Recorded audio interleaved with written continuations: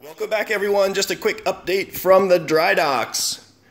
This is Bob Martin with the Nautilus Dry Docks. I wanted to give you an update on a couple of projects that I'm working on right now. I know you guys have been following along. Hopefully you like these new uh, formats of videos, uh, a lot more, uh, a lot shorter. But two things I'm working on right now, and this is the uh, Alvin that you can see in the background, and we'll go take a look at that one first.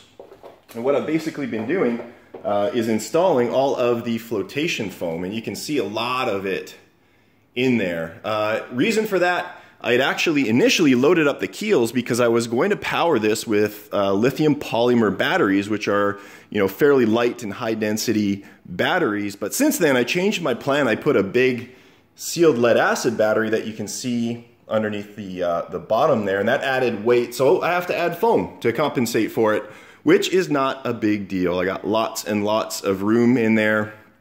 Uh, I'm going to say I've probably got almost one and a half liters of um, displacement for foam uh, in the back area and then also tucked up in the front.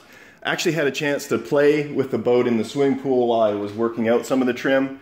It's tons of fun, uh, super maneuverable. One thing I will say, those thrusters are virtually useless. So I think uh, depth control is for the most part going to be controlled by the ballast system. But we'll see once we get it all done.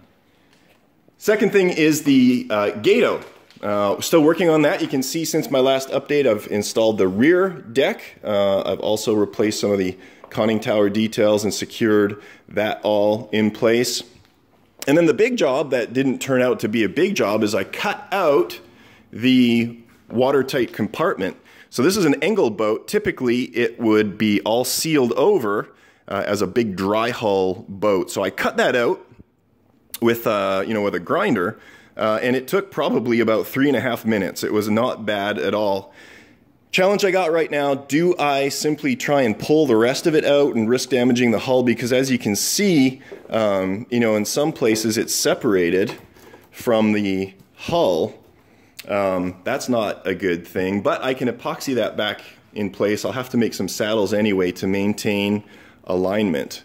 Um, here's the old power unit for it, twin, twin motor um, drive unit for the Gato, but that's all being removed. Uh, I've removed the control surface, uh, assembly, rear dive planes, and rudders.